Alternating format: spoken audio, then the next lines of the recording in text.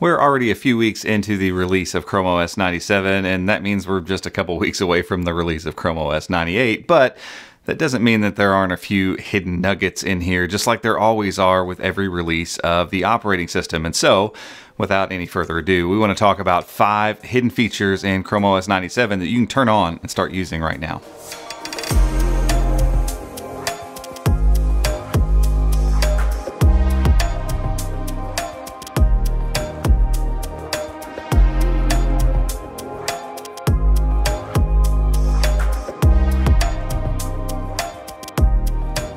Okay, so let's hop right in. Obviously, the first thing you're going to have to do is go in and turn these flags on. So uh, if you navigate to Chrome colon forward slash forward slash flags, it's actually going to open up a new window. It's kind of a new thing that's happening as Chrome OS and uh, Chrome, the browser, are, are preparing to split these flags kind of open up in their own things. That's why you're not seeing any kind of URL bar up here at the top.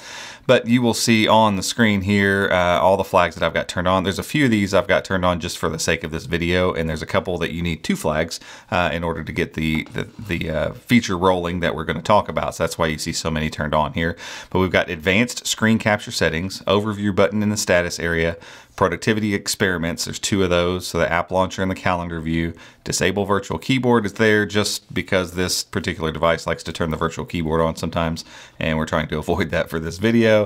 Uh, and then enable files trash and app launcher animation. So we're going to go through these one at a time. But if you want to, you can pause the screen at this point and kind of look at those. You can search those right there in the flags and flip those on as needed depending on which one of these you would like to give a try. So the first hidden feature though isn't actually a flag. So I'm gonna show you, I'm gonna open up a new window here with Chrome. I'm gonna go to Chrome Unboxed and once I get to a particular piece of content, uh, we're just gonna click into the first article here there's a new share button right up here. And we've seen this in the works and it's popped in and out in Canary and dev channels, but it does exactly what you'd expect. It's right up there at the top. You click it and the share sheet will come up. And depending on what you have installed, you'll get a share sheet where you can share stuff to. Uh, what's really cool is that's the Twitter PWA. So it knows how to deal with that uh, using a PWA to share that. Um, it'll create a tweet.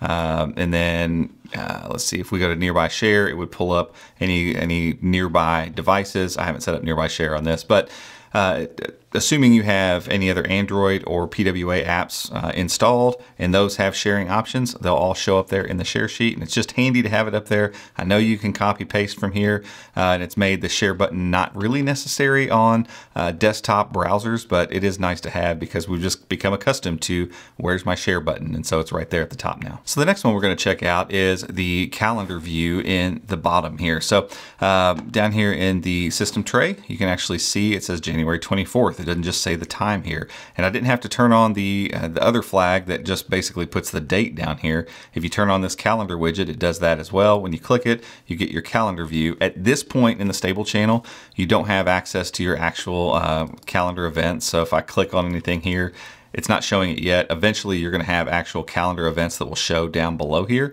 Um, so it's a nice feature, especially if say for instance you're trying to plan something and you need to know what's that second week in February, you can quickly click in here and see your, you know, see the date laid out and know exactly, hey, next next next Tuesday is, is February 8th or whatever the case may be. It's just a quick access calendar. Eventually it's going to gain more features, uh, have access to your actual Google Calendar, and it's going to be even more helpful. Okay, the next one is kind of a freebie. Uh, I didn't count it in my, in my five uh, hidden features, but it's a fun one. Uh, I think that could be helpful for a lot of people. But you notice down here in the right-hand corner, uh, it's the overview button. It matches the key on your keyboard actually, and it does exactly what you'd expect. You click it and you get your overview. Uh, that flag is the enable overview button and it's always on if it's there. And so if you find yourself needing the overview button constantly or you would like it there on your tablet or something like that, enable that flag and you can have that overview button there for quick access. For the next one, we are going to look at the productivity launcher. We talked about this with Chrome OS 96. It's still not technically here in Chrome OS 97, but you can enable the same flag, the productivity app launcher.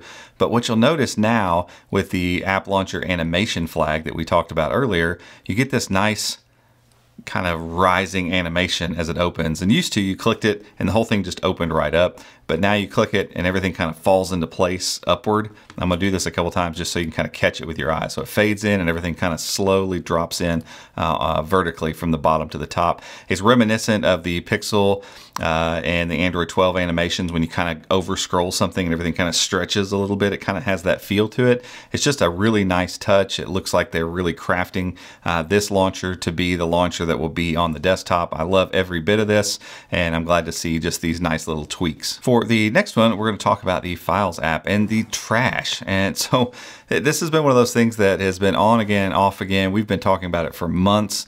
Uh, and every time I've tried it, it's always felt a little bit janky. And I hadn't thought about it forever uh, and just happened to go look in Chrome OS 97. The flag is there as it's been, but I turned it on and things just seem to work really well. So I'm going to take this, uh, this image here that I've downloaded. I'm going to click trash. We're going to go over to the trash and it's right there exactly where you'd expect it to be.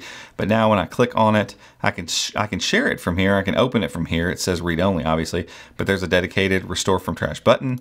Boom, click it. It goes right back to where it was.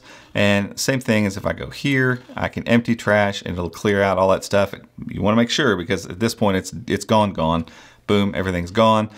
I really like this. This works exactly like I would expect it to. This is another one of those things that I'm like, I'm not sure why they haven't just turned it on. Uh, it works so well and it looks nice and it functions the way you'd expect it to. So that's one I would turn on and just start using honestly on a day-to-day -day basis. The final feature we're going to talk about today is uh, a couple enhancements to the screen recorder functionality. So if you hit the key or you know the key combo or whatever on your Chromebook to kind of bring up your screen capture, uh, you'll notice in the settings right here you have some expanded options now. So you have audio input now. So it's not just microphone on or off. You have microphone off or internal microphone. And if you had something else plugged in, a USB mic, or maybe you had like a webcam uh, turned on on your on your Chromebook, so like an external webcam, it would pick up that and you could choose that as your audio source as well.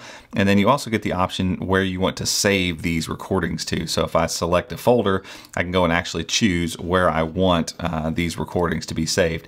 Not huge uh, bumps in performance here, but these are just little niceties that they keep adding to the screen recorder function to make it, in in my uh, honest opinion, the the best screen recording that you can get on any OS across the board. But guys, that's about it for the hidden features I've found that I think are really cool, at least right now in Chrome OS 97. Keep in mind, uh, early February, we're going to be into Chrome OS 98, so it'll be time to start searching through and finding more of these things uh, for that version of the operating system. So we'll keep an eye out for any of those new things, and obviously keep an eye out for some of these things we've been talking about that are kind of experimental that actually show up in Chrome OS 98. But that is it for this one. If you like this video, give us a thumbs up, head down there and hit the subscribe button, and be sure to hit the notification icon as well if you'd like to be alerted when we make future videos just like this one. Until next time, we'll see you.